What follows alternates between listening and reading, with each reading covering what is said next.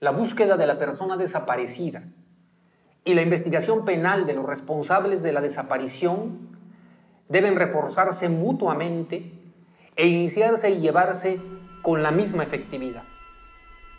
La terminación de la investigación criminal, así como la sentencia de las personas acusadas, no deben ser un obstáculo para concluir ni suspender la búsqueda de la persona desaparecida. Hasta encontrarlas.